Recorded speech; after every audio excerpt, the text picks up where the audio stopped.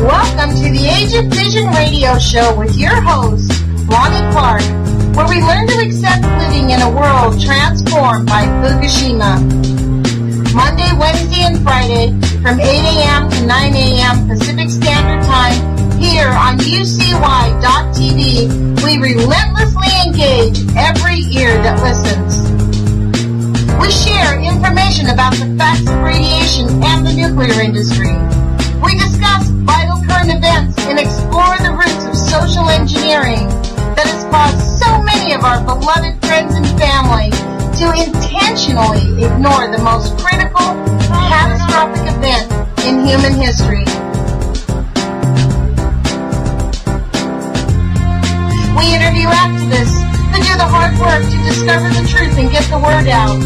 We dispose the NRC's daily nuclear alerts and take phone calls from our listeners in an effort to fully engage on all topics that are changing our world. We explore exactly how radiation affects our bodies and minds to dissipate your fears and face the truth. We remind our listeners that happiness is resistance. Love is greater than fear. We share information on how to take your life back from the systems intent on enslaving our bodies, minds, and souls.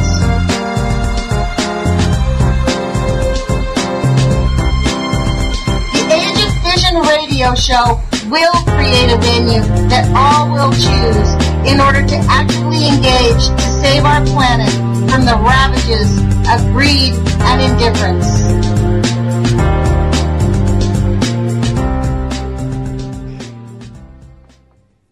Hi, UCY.TV radio, Radio listeners. This is Lonnie Clark.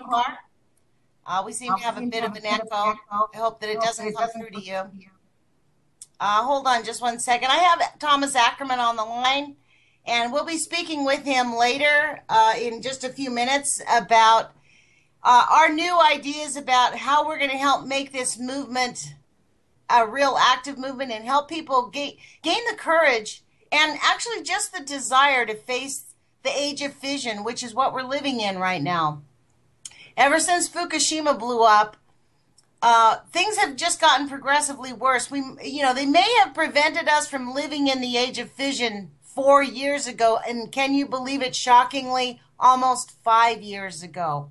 We are five years in since the Fukushima catastrophe, and even just yesterday, we hear they are still covering up a young man who was 30 years old, died at the site, and they are giving us bits of misinformation. All we know is that somebody died. He was working there for 30 minutes and then died. That's the information I read. So it is time for us to actually just learn how to embrace living in the age of fission and stop being angry about it. You know, um, one of the things I really want to bring up right away is the comments section on the UCY.tv YouTube video section. We got I got a really great comment from a gentleman named Eric Oppenheimer saying, "Stop yelling at your listeners." I actually was not yelling, but I actually do get excited. So you have to forgive me if it sounds like I'm yelling sometimes. Uh, I'll make an effort to be more calm when I'm on, on the radio, so I don't sound like I'm yelling at people. But um, you know, one of the things we need to do is really figure out a way to how to actively engage and make this something that people are willing to acknowledge, face, and find solutions. Uh, you know, I'm I'm an eternal optimist. I I believe that we can find a solution. The reason that Fukushima is so completely out of control is because they've never really tried to find a solution. I mean, they say they're going to build an ice wall. They knew before they even did that project it wasn't going to work. Part of the reason that they're having such a hard time about it is they're not admitting what the situation really is. They've never ever come clean that we have nuclear power plants in the state of fission, which is basically what they call the China syndrome. We have the China syndrome going on on our planet, something we have never seen in this article that I'm reading on my uh, YouTube channel, It's called The Safety of Nuclear Power. Dr. Weinberg talks about the potential for the China syndrome, the possibility of a China syndrome, and how in that time, it was in 1972 when this talk was given, uh, how they were thinking about the theory of the China syndrome, but it was unacknowledged, they unproven, and there was no way to prove it. And that it would never happen because they would safeguard. They considered themselves in this article that I'm reading, and that's why it's so completely critical. Dr. Weinberg talks about, he uses the first phrase, he calls themselves, he goes, We have now set up a, a situation where we have developed a priesthood, where they have developed a nuclear priesthood. They, and he compared themselves to the pharaohs and the ancient people who had the priesthood who dished out the knowledge to the masses. And it was now up to the nuclear scientists to protect the safety of the planet. Well, I would say that they summarily failed, 100% failed, which gets me screaming and yelling here, but I'll make an effort to contain myself. but um, he also, in that article, this is why I decided to read it. I dug it up for a scientific research paper that I couldn't use for my school. But in the article, he's, this was the first time he said that nuclear scientists have created a Faustian bargain with the people of the earth. Because in order for us to provide a quote, clean, free energy, endless amount of energy, we have to give our trust to the nuclear scientists to protect the world and the safety of the world. Now that, that idea might have been really workable if the basis of the nuclear energy industry had been based on truth. But the basis of the nuclear energy industry has been based on lies from the get go. They did not tell us from the get go it would cause um, the waste that we can't still deal with. They didn't tell us for 20 years that they had waste that we couldn't figure out what to do with. But they kept using it and kept doing it. And in, when they went to the Marshall Islands and bombed the Bikini Islands, they did not tell those people near the harm. And in fact, the boat drove right past them right after you know right after they were about to drop the bomb they came back to look. After they dropped the bomb they walked right past the islands and left the people on the islands. Um, there's a really great documentary that i have called half life it was done in 1972 by an australian. And he has video clips of the people actually what actually happened. And he shows the children who are lying there with cerebral palsy such a sad state because those children laid in their huts. Those people had no idea. The Marshallese actually called, you know, the the the term uh, jelly babies came because they gave birth to children that they could not even imagine. Their exposure rate was so high. You've seen these grotesque photos of the babies that don't look human. So our job now is to we, we can't really look backwards. We can't call these, you know, they are nuclear liars. The whole thing has been based on a lie. It's important for us to understand the history of the nuclear lies and how they basically made an effort to convince Americans that the nuclear power industry, that the nuclear energy industry was conscientious and looking after our best interests, which is what I believed 100% the day Fukushima happened. The day that Fukushima happened, I remember them thinking, oh my God, I'm so glad they were able to use the ocean water to cool down the nuclear power plants. And I went about my business thinking that the nuclear power plants were fine, perfectly fine. You know, unbeknownst to me, I had no idea that was probably the worst thing that they could have done for those nuclear power plants. It only exacerbated the problem. It was as if they did nothing, and in fact, it was worse than doing nothing. They made it worse than doing nothing by pouring salt water on the nuclear power plants. And every government on this planet should have been actively engaged. Think of the military power that we have on our planet, that we could have actually stopped Fukushima four years ago. I'm not sure that we can right now. So Our job now is to learn how to deal with it because we can't stop it. And it's going to take a lot of, it's still going to take all the world governments to try to figure it out. And in the meantime, we have billions of people on this planet who are like frogs in a pot of hot water trying to figure out, you know, is it getting too hot? Only there's no other planet to go to. We only have one planet to live on. So it's up to us to decide how to live well, how to be happy, and face this within the courage of it how to get the masses of the people to acknowledge that this is a serious problem that we need to demand our governments take action on immediately. Not tomorrow not 5 years from now but right now we our governments really need to be actively engaged every government on the planet stopping Fukushima. In my view Fukushima is probably the worst catastrophe that's ever happened and ever will have happened, except that we have a, ticking time bombs all around the world, these same things. And I think the fact that the nuclear industry knows they have these ticking time bombs, you know, Kevin often used the phrase kick the can down the road. It's not just kicking the can down the road.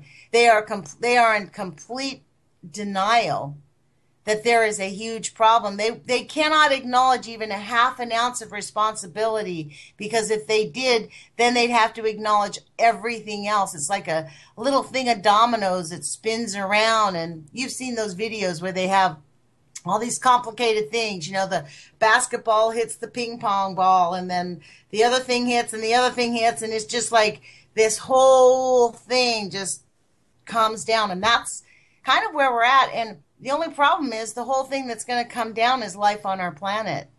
So, as an eternal optimist, and I really do believe this, I think there is a solution to this. I think that once there's enough political pressure on our governments, that they will find a solution. I mean, I have done a lot of reading on what's called sound healing. And I intuitively believe that that's where it will go because sound moves molecules. And I think maybe that's a solution. One of the things I wanted to do today, though, uh, and I promised you that I would have this interview. You know, my show is called The Age of Fission, and this brilliant artist that worked with us in the Post Ignorance Project was is Thomas Ackermann, H. Thomas Ackermann. He's an artist who has been um, really very well known in the art world in his own time, and he lives up in Canada. He still so for me, I'm in awe of a human being who can actually make a decent living selling his artwork. I think that's completely awesome. And uh, he came up with this idea of the age of fission. That was his idea. He put out a video maybe a year and a half ago talking about we are now in the age of fission. And he has come up with an idea to help us as a culture move into the idea of accepting the age of fission because once we accept that we're in the age of fission, a lot of brilliant minds can come to us.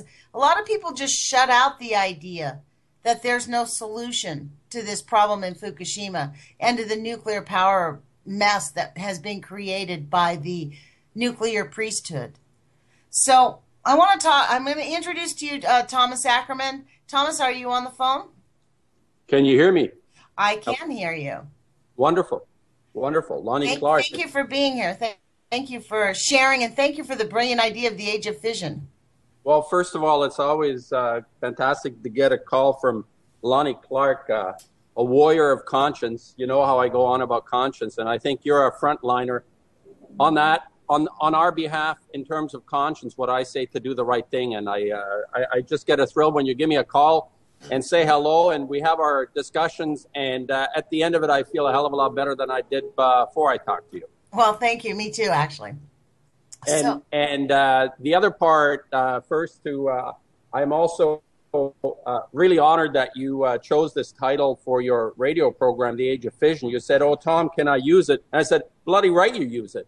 I mean, that's fabulous. That's like you know, the understanding is I don't know why I, I thought of this, uh, you know, age of fission. Probably some historical stuff that goes through my mind, but the fact that you decided to use that, I think you could have also said uh, conscience radio. I think that would have been uh, pretty good too, to describe your uh, nature. But I'm thrilled you used the age of fission.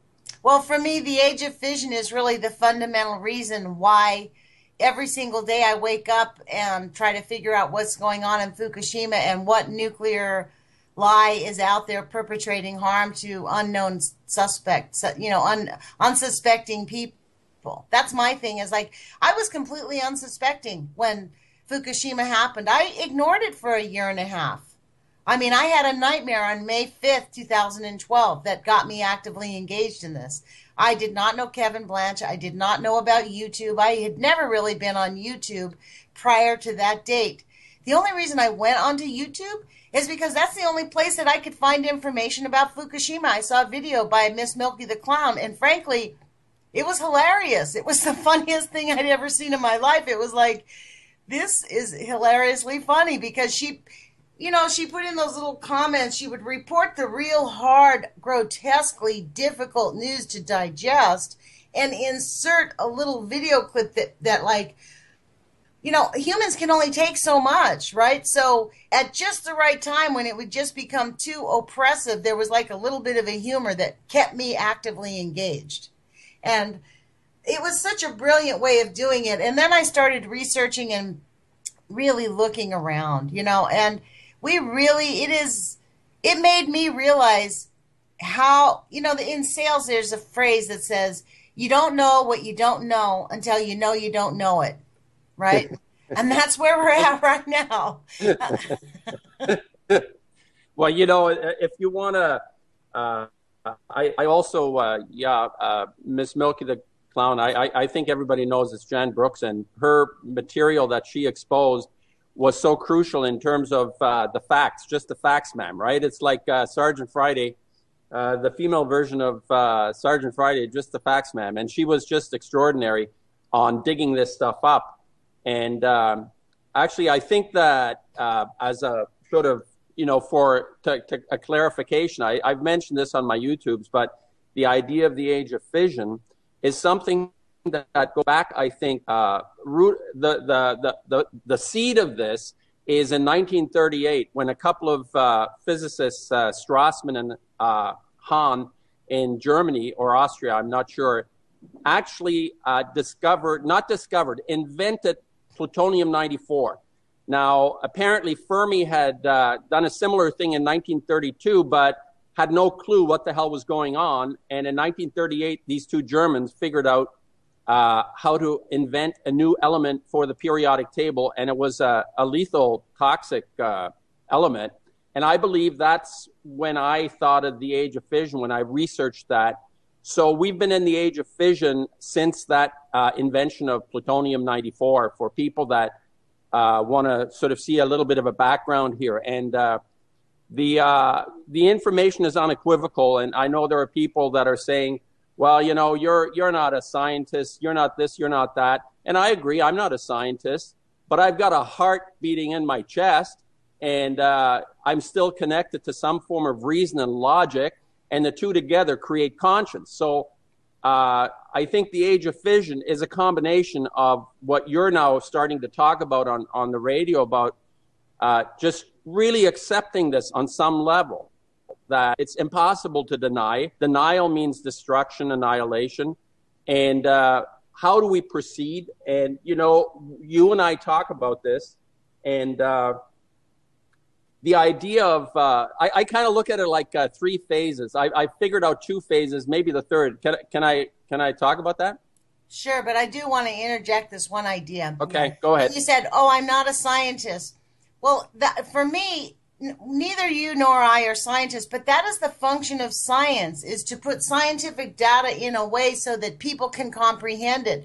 That's why we have scientists. We have scientists to share their mathematical and knowledge, their mathematical capacity, their ability to digest complicated concepts and boil them down into something that is useful to humanity. So we don't have to be scientists. We don't, people always say, well, I'm not an expert. I can't really tell. Well, we don't need to be experts. We need to be able to rely on the scientists. And that is really the fundamental thing. In the age of fission, what went awry is the scientists withheld and actually manipulated the information to not disclose the truth. And unfortunately, in real science, the truth is evident. You can't have a hypothesis and have a preconceived idea at the beginning. You know what I mean? Yes. So yes. That's the only thing I want to interject is that as regular people, we have a right to look at this information and digest it and say, wow, maybe we aren't, you know, you came up with this concept of the age of fission after understanding and doing some research and how did this stuff get created? And a light went on in your head. You said, wow, we've been in the age of fission since 1938. Right. And nobody knew it. As opposed to the nuclear age, which is a misnomer from the point of view. Well, we are in the nuclear age, have been for four and a half billion years since the uh, so-called origin of this planet. There has been radiation uh, emerging out of this planet. Uranium uh, is uh, naturally in the ground. Uh, we have dealt with that as a biological entity. All life forms deal with the background radiation. Uh, native cultures uh, were smart enough to stay away from the hills that had uranium in it. They uh, barred their people from hanging around those places because they knew it was dangerous. But we managed to handle the radiation that is nuclear, but uh, fission, nuclear fission more precisely, is the splitting of the atom, which, as far as I have uh, come across in my research, does not exist in the rest of the universe. And people will say, well, you know, uh, there is a natural reactor at Gabon, Africa, and uh, it's a fission reactor. It's naturally occurring. Well, this is supposedly uh, like a billion and a half years ago or something. Who the hell knows what happened a billion and a half years ago? You know, it's like my shopping list from last week is a puzzle for me. So, you know, it's like how how would anybody know? But smart science, as far as I can tell, does not agree, uh, except possibly on the periphery of, of supernova. There may be uh, fission, nuclear fission occurring, but everything else is fusion fusion the sun. So the age of fission is an age that probably applies only to this planet in the entire cosmos. So imagine that. Yeah, that I mean, it, what's really interesting about that is that's a good idea, though. I, if you could expand on that a little bit, I'd really like you to talk very briefly because I do want to move on to our conversation about the free radicals. Okay. But this is something that really confuses, frankly, even me. This took me a long time to get this idea, and I imagine there's a lot of people who aren't like me. I'm not a scientific mind. I get confused between the word fission, fusion. You say fission is the splitting of the atom. Would you explain what fusion is? Because the media, you know, when I really appreciate the idea that you say we've been living in the age of nuclear for mil- millions of years. Did you say billions? Billions, billions right? Yes, billions. So we the age of and so they manipulate that to say, oh well, we've always had radiation, but we've never had fission. We've never had the age of fission where man created a new element to the periodic table. But if you would, would you explain in simple terms, because you have a really gift for that, what fusion is? Well, I, I probably uh, I, I, make uh, I'm not sure. I, am making fission paintings right now. I, I haven't really been able to uh, think about fusion because it's not an issue uh, for us because it exists no matter what. It's the sun, and the sun is not necessarily uh, when when you supposedly get beyond the uh, Earth's atmosphere and those the magnetic uh, the magnetics that protect us from the ultraviolet. Uh, fusion is not a problem for us the way fission is because we've created a we've created well it's a monster because uh, Dana Durnford un- understands as I, he'd be a great guest as well to explain uh, this part of it.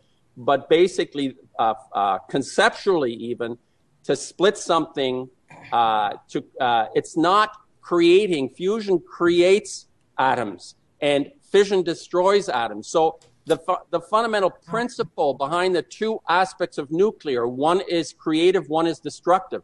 And uh, that doesn't mean that we can, you know, stand in direct ultraviolet light and survive. But uh, the way we're structured is we're able to metabolize uh, what part of fusion we experience. But fission is something the biological organisms cannot metabolize because it keeps on what is called well, cancer is basically uncontrolled cell growth. And I think this is uh, a chain reaction, an uncontrolled chain reaction in a physical environment is very much like cancer and it's uncontrolled cell growth And uh, that's what we're facing in the age of fission uncontrolled cell growth, which will manifest itself in biological forms as mutations uh, and uh, cancers. And uh, I and I think that somebody that has a grasp of the two processes will will acknowledge that fusion is everywhere in the cosmos, as far as we can tell, and fission does not exist. That's great. Thank you. Thank you for that quick synopsis. And that brings us about to this idea that in the age of fission, we actually really need to learn how to live in the age of fission because it's not going away. It's not going away ever. And so while we're trying to figure out a way to save the planet and we're encouraging the scientists to really develop and be honest and get back to science instead of manipulating and you know kowtowing to their uh, pay, the to their the money lords really the people who own the money who control them.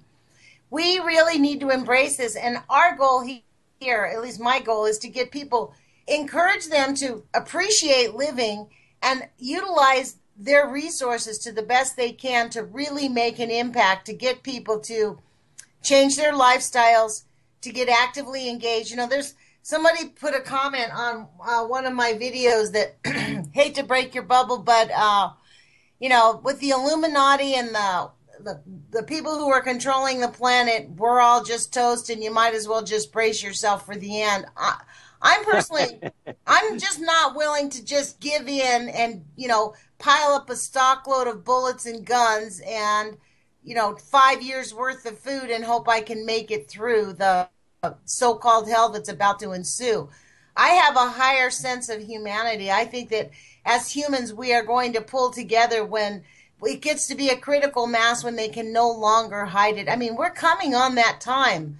We're almost 5 years into Fukushima it is a known fact that many of the worst events from nuclear contamination start presenting themselves after five years. That's when low level radiation creates, you know, the lower and not even just the higher exposure, but those after five years is when you get start to see very severe things happen.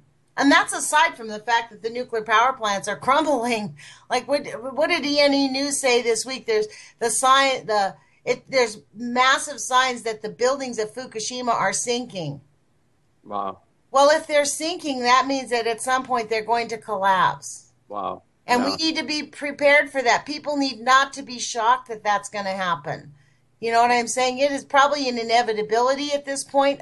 I don't know if we are any government or any agency has the capacity to stop it. So in the meantime, I want us to talk about the free radicals to get a movement going through the use of art and people's artistic expression because art is an expression of our love of life. And so that is how we, I, and I really agree with this idea about this. And we can actually share information about how we can protect ourselves through health and nutrition because that is, and I really believe that humans have the capacity to change. You know, people say, well, I don't want to have to change. Well, you know, the fact is everybody does change whether you say you want to or not, you're changing.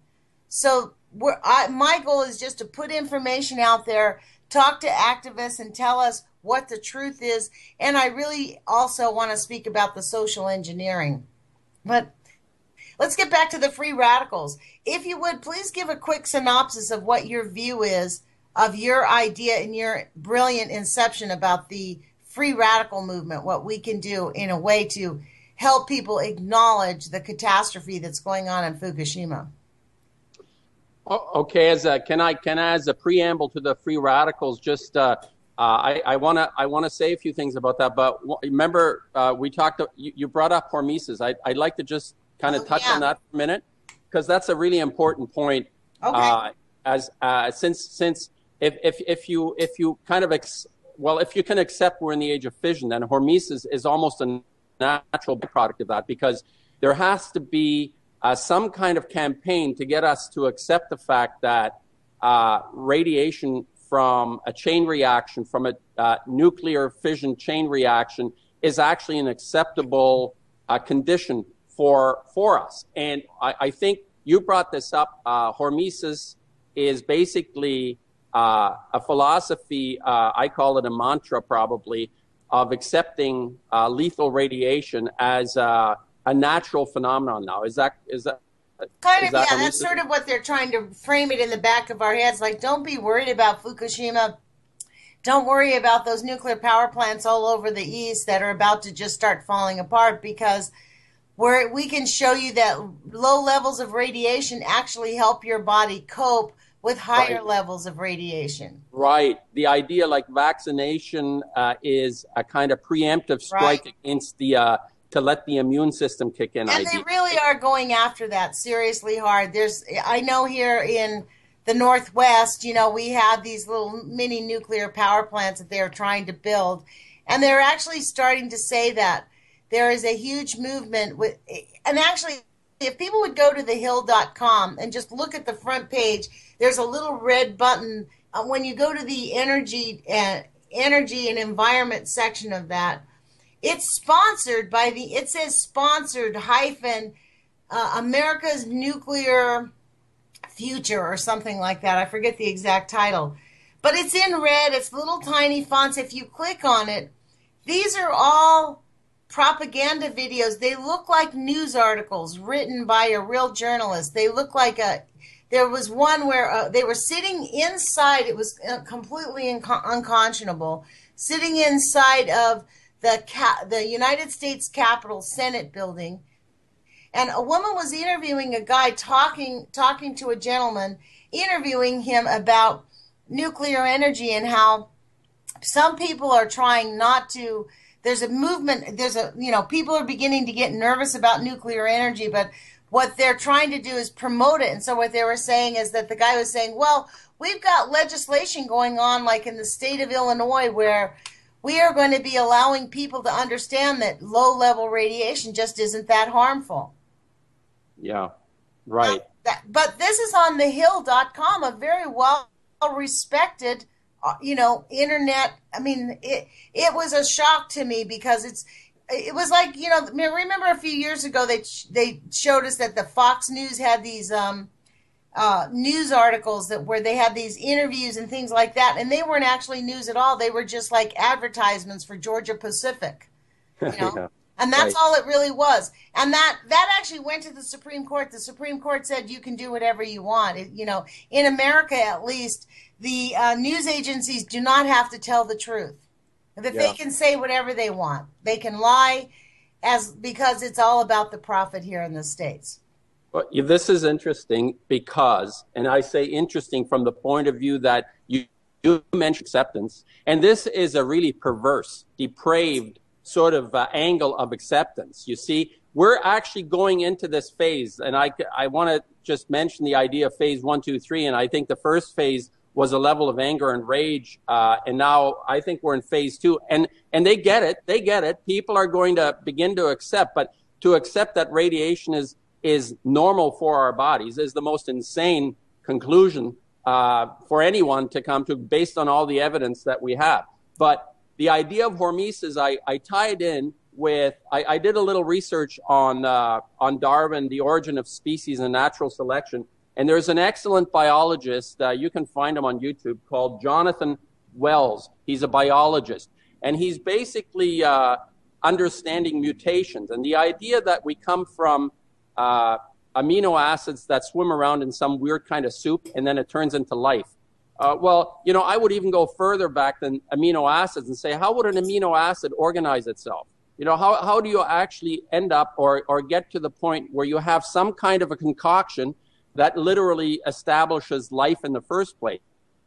Then you have like uh, billions of years of single cellular organisms, supposedly, that all of a sudden explode at the, uh, uh, I don't know what that age is called. Uh, um, it has a name. Anyway, there's like an explosion 500 and some million years ago. You have uh, thousands and hundreds, millions of, uh, of, of creatures appearing out of nowhere all of a sudden and it miraculous, miraculously is supposedly mutation. Now, think of this, Lonnie. When I was listening to this fellow, he said there are three types of mutation as far as biology is concerned. Number one, the mutation that affects an organism or mutates an organism and it has no effect on its physical function. In other words, it just continues to work uh, perfectly normally. The second type of mutation is when it severely hinders that organism. Whatever mutation you get, it always severely hinders the function of that organism. And the third mutation is death of the organism. So there, in, in the Darwinian idea that mutation, for example, that we are radiated now by uh, uh, isotopes from chain reactions, ionized radiation could possibly be beneficial based on the Darwinian idea is total bogus because there's no evidence that any mutation has any benefit the way it's being described or being attempted to be described through hormesis or even you know some kind of darwinian plan that that is being reactivated that people basically have have you know just discarded i mean it, it doesn't work this uh, uh, bogus there philosophy. has been one scientific in fact that's the guy that dana exposed down in uh, new mexico who's been uh, Gilmedi.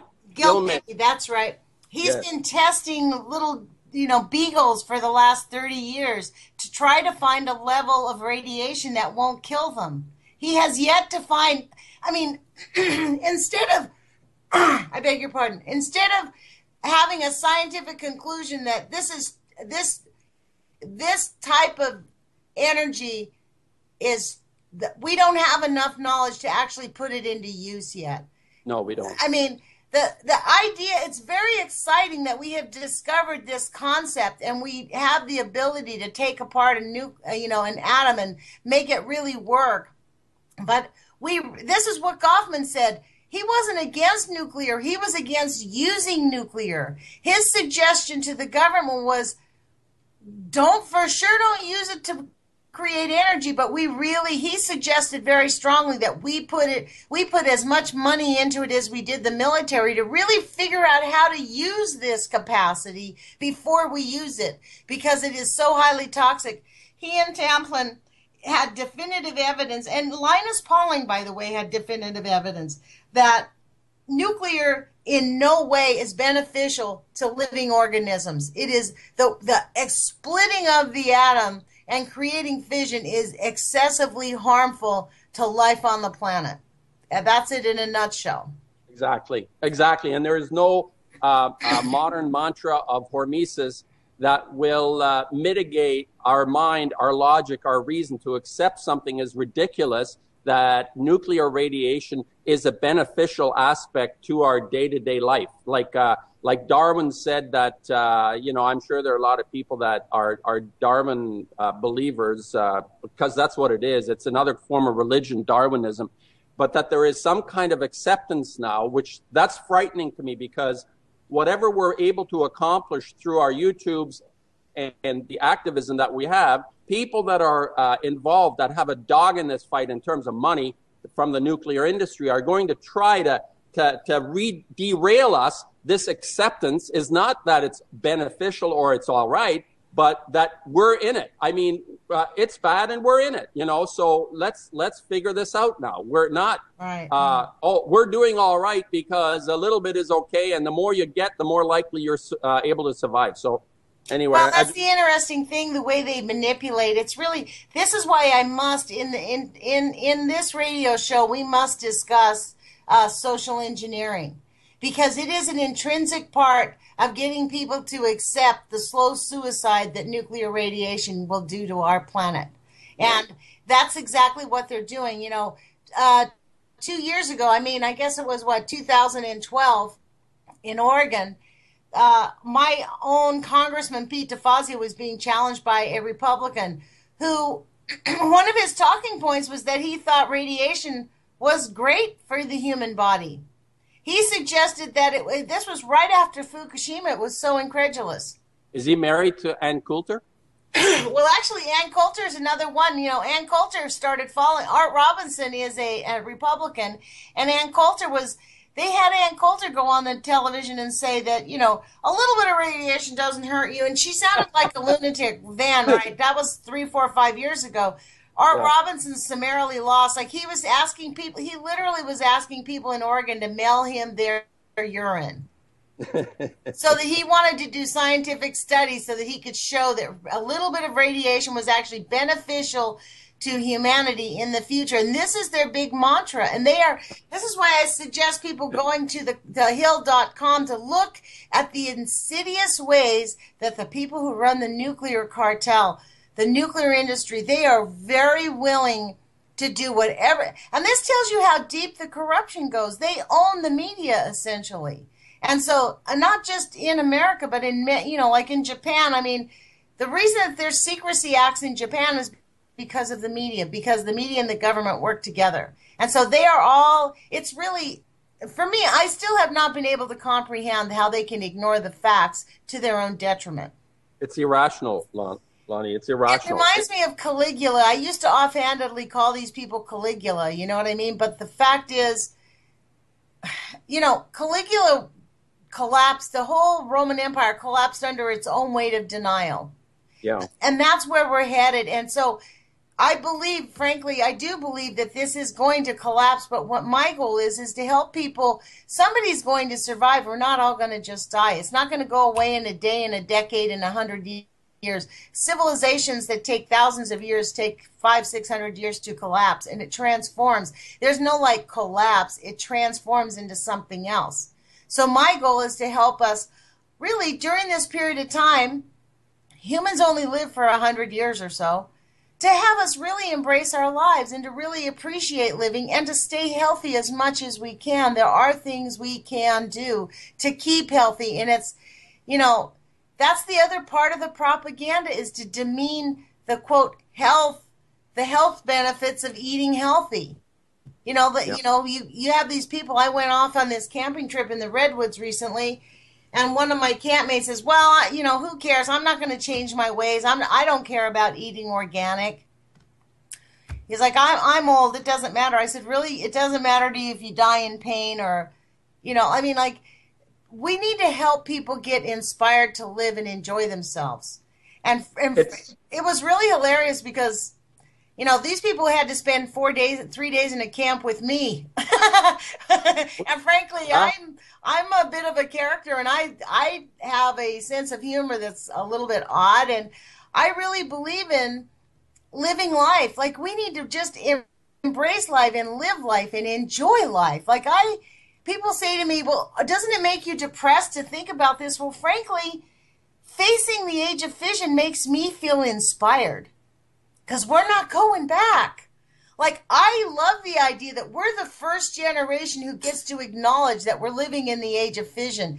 It's been going on since 1938, in my view.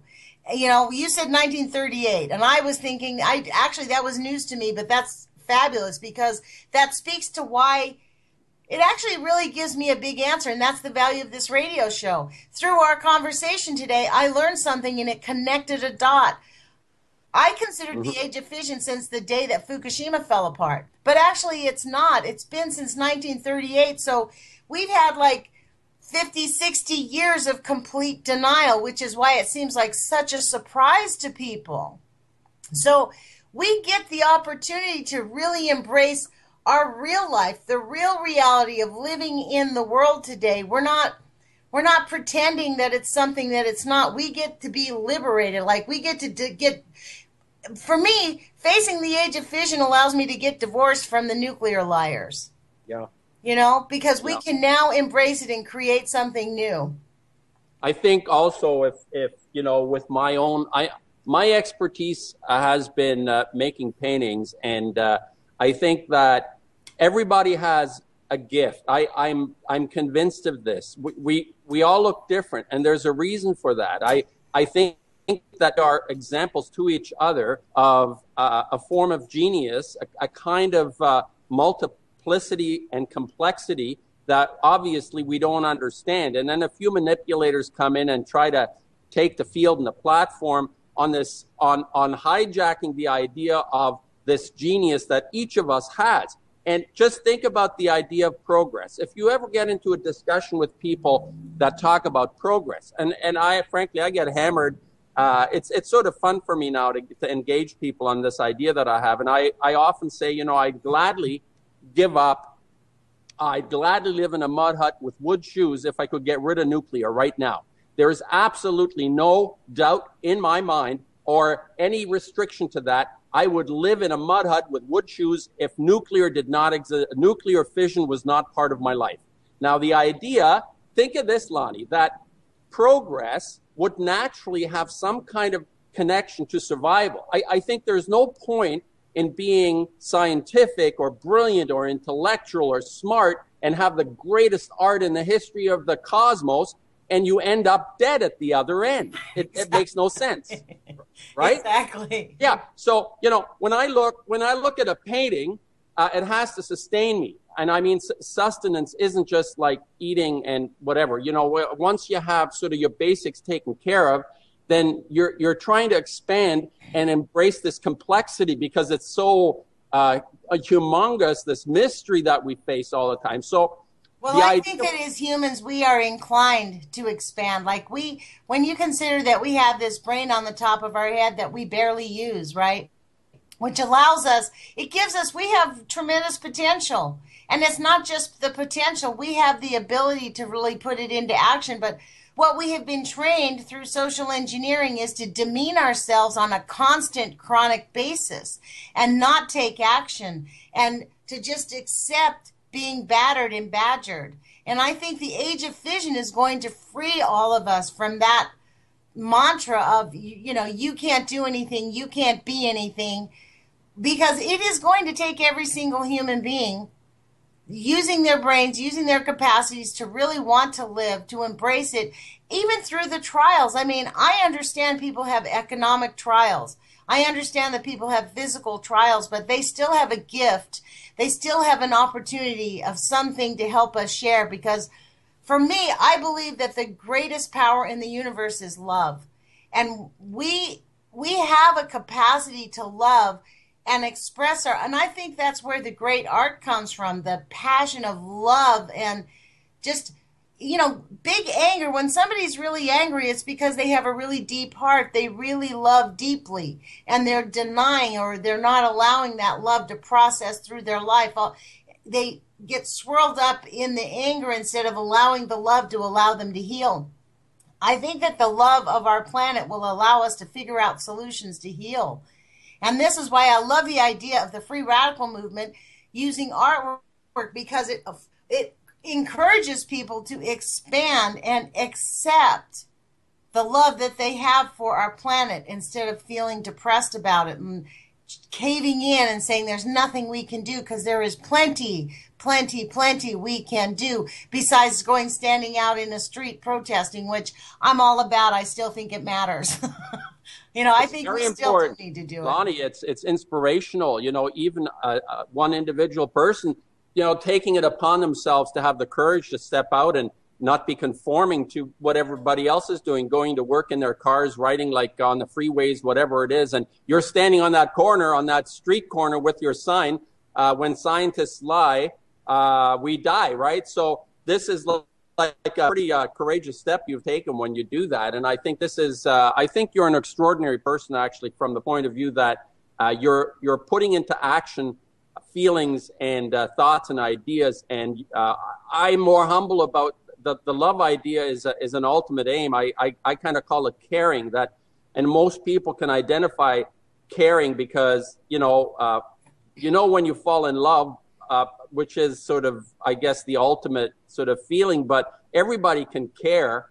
You know, it's like uh, you don't have maybe falling in care. I, I don't know. Maybe that works too. I haven't well, thought. See, I think that's been part of the social engineering is like to demean the word love because love is a very powerful emotion. It is, yeah. And this is why we have a culture where women and men walk away from their children uh, because they have been so. I don't. I'm not angry at people who can't cope with the idea that they've reproduced and they don't want the responsibility because they've been socially engineered to walk away. But until we acknowledge these things, we are not going to figure out solutions to them. You know, it's important to talk about Bernays, who intentionally set about doing the social engineering to break up the modern culture and to create a bunch of lemmings who will just click their heels and say, "Oh well, there's nothing I can do about it, so I'm never going to get actively engaged." And that's kind, that's where the masses of the people are.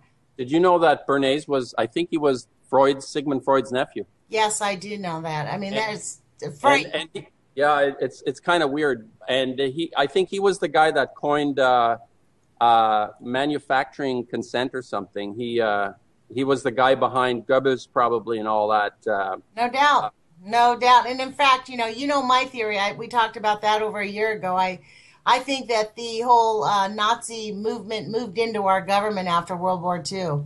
Yeah, you said that in your last program, uh, paperclip stuff. The uh, yeah, they they kind of transposed themselves from Europe to uh, to North America. You know, quite uh, effectively, I would might add. Look at the would look at the vitriol that's going on in our country. Does not remind you about the vitriol that happened right before you know when yeah. the Nazis were in full swing. I mean, people were just so hateful, and they did not care about their fellow humans, and so you know, these are things we can stop and these are things that we can transform and change it around. I mean, I really believe that like the reason that the peace movement died, the women's movement died is because men, after the women's burned their bra, men were beginning to get liberated. Right. And it's bad enough to let the women be liberated, but God forbid that men get liberated. you know, so they, I.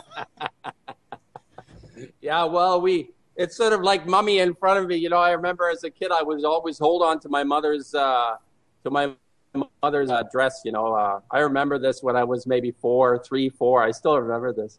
So maybe that never goes away. You know, you hold on to. Well, uh, that's I think why they didn't mind women getting liberated because frankly, women spend a lot of their time caring for children. They don't have the time to get active.